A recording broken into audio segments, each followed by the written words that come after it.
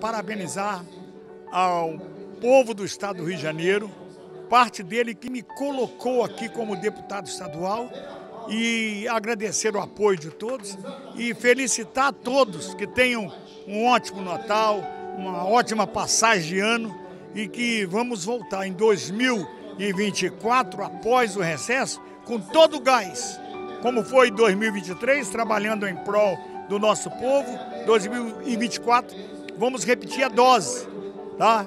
Feliz Natal e próspero Ano Novo.